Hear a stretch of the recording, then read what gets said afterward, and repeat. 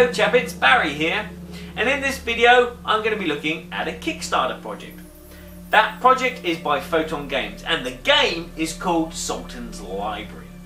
In the game, players are taken on roles and they've been given the responsibility by the Sultan to go and find knowledge. Knowledge in the form of books.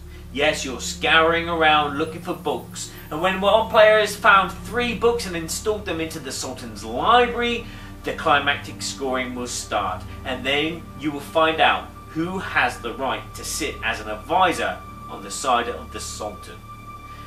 I'm going to leave a little icon up Kickstarter icon to say that you can click on it and you can go directly to the project. This project will be starting on the 2nd of June 2015 and finishing on the 2nd of July 2015. So if you're interested in financing it, making this game a reality, do so. Until then, I'm going to show you my prototype copy of the game and how it plays. Take a look at this. So let's start by saying that what you're seeing here is all prototype. So this may vary from the final ver the final version. Um, some of the card art is not finished, um, and as you can see, these tokens here, I should have cut them out and used them, but instead I'm using these um, wooden cars because I thought it was more thematic to the game.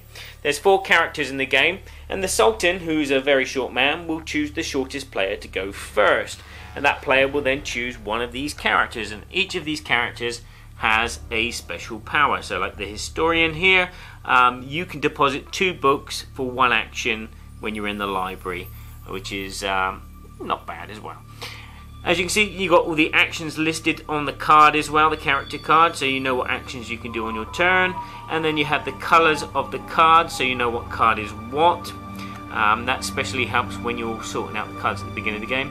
And then you also have a holding location and a deposit location. Because you're looking for books, once you find a book in a location, you hold it and then you return to the Sultan's library over here and then you can deposit it. Because that's what the game's about, collecting books and collecting knowledges. Uh, so once the first, all the players have chosen a, a personality, a character, they take their card and the token which comes with it. And then you sort the cards out into two piles. You have your library, which you put in the middle of the board, in the table, the board, whatever. And then you sort out your two decks. You have your location deck, which is made out of location cards, book cards, and event cards. And they are all slightly different colors. So like this location is blue, as it says here. Uh, this is an event card because it says purple is event card. And there's a book card because it's the red. And the other deck, which is the action deck, is made out of the other two colours, which is the green and the gold. You take these two decks, you shuffle them, and place them face down. Let's show you the gameplay.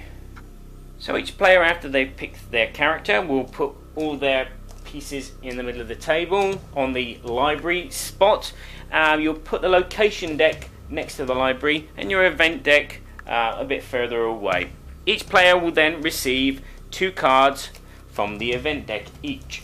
And then gameplay will start. Now, the Sultan, being a very short man, would choose the shortest player to be the first player. They then take the first player marker and then they start playing the game.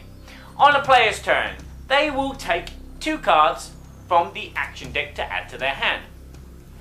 And then they can perform two actions. One of those actions is called scrounge, which basically means that you use your two action points to draw an action card from the action deck. The second action you can do is you can use the special power of your character. So the historian here, uh, if you're in the Sultan's library, you can deposit two books in one action instead of just one book per action as normal. With the merchant, you can, for an action, gain 6 exploration points, which you just use on the next turn. The poet has a special power of if you start in a location with another player, you gain 1 extra action per player, which is great if you're the first player in the, in a game and you're the poet. The thief, if you pay 2 actions, you can steal a book from a player that is in the same location as you if they are holding it. Another action you can do is you can play an action card from your hand. Now this is a selection of the, some of the ones that you'll find in the deck, like this Sponsored Expedition which lets you draw two more action cards. You have this Motivation card which will let you discard up to three cards and you can gain an action for each of the cards that you discard. You have false rumours, which can be a bit nasty to other players. You can choose a player, and then that player must discard two cards and lose one of their action turns. You have the Courier, which lets you deposit a book that you are holding because you need to normally deposit a book when you're in the library, but with this you can deposit it in any location that you're at. You have Book Burning, which is a very nasty card. You choose a player, and then that player has to discard one of the books of your choice. Ooh, nasty. But you can play a reaction card to one of those cards, and this is an extra guard which will block any nasty events which are taking place on you. Explore the area is an action that you'll probably be doing a lot. Basically, this action allows you to take cards from the location deck and hopefully find the books that you're looking for which will win you the game. You will have to pay X amount of points depending on the location that you're at. So for instance, at the beginning of the game, everyone's in the library. It will cost 3 explore points to get out of the, the library. So you can do that by just discarding one card so this Royal Navy is 6 exploration points, so I'll waste another 3. Or you can play more than one card. So I could play the Fortune Teller, which is 2, and the Bag of Gold, which is 1. So that's my 3. Discard those, and then I draw a location card. If it is a location, it goes in front of you and you go directly there. Some of these locations have activation powers. So when you go onto it, it'll activate the power. So for instance, this excavation site is, as an action, I can draw an action card, which is cool. If I wish to explore again, I'd have to now pay two exploration points to draw another card. So I discard a three there, and I draw this card here, and it's another location, which means that this one, I go directly there, and this card gets discarded.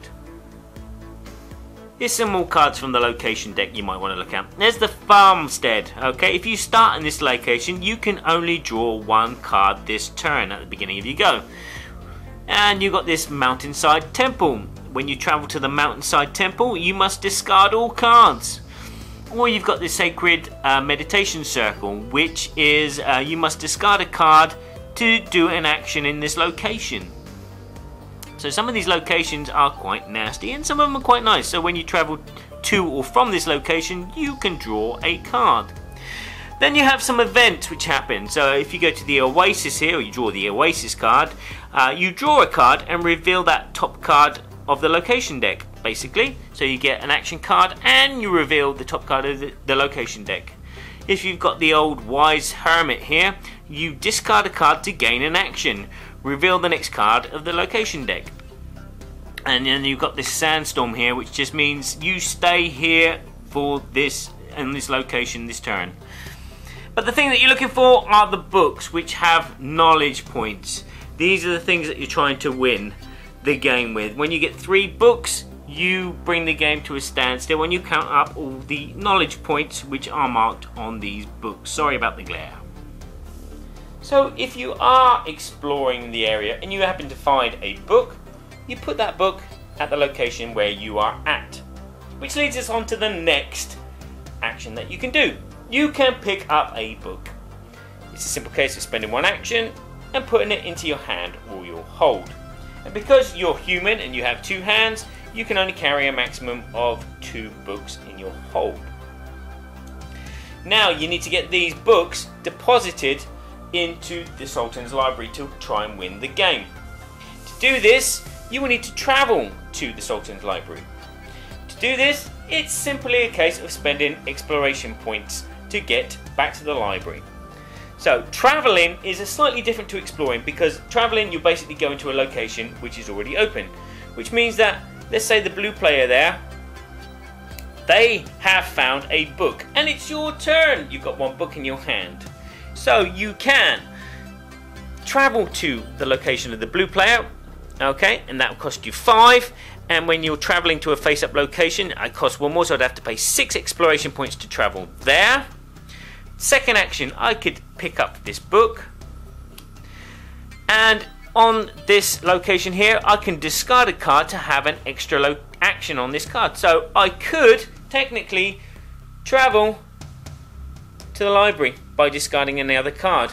And it would cost me four, but the Sultan's Library has a special power of minus two when you travel to it, so I'd pay two exploration points to get back to the library.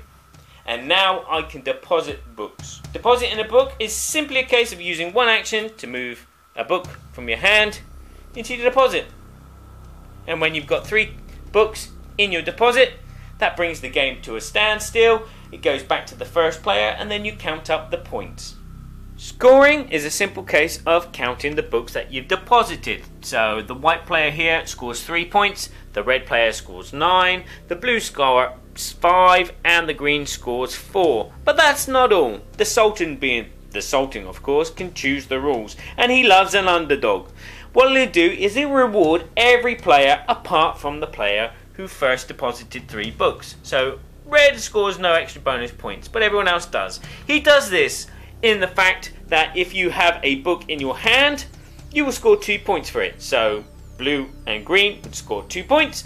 And if you finish the game in the library, as white and blue have, they will get an additional two points, which means that the white player has five points, the red player has nine points, the blue player has nine points, and the green player has six points.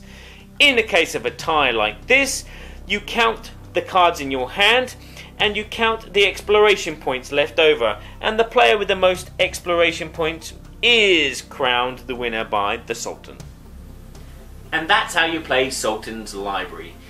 If you wish to back this Kickstarter, eh, because this game sounds interesting to you, click on the Kickstarter icon on the screen and you will go straight to their page. This Kickstarter is only running from the 2nd of June to the 2nd of July 2015, so be quick about it. If you want to find out more about this game, you can go to Photon Games website, the link is on the screen, and you can find out how more about this game. And there's also a raffle there where you can get a chance to win a copy of the game for free. And also maybe even get your image put into the game. Isn't that cool? So that's all from me. My name's Barry. And uh, remember, be nice to your dice because you only throw them thrice. Or something like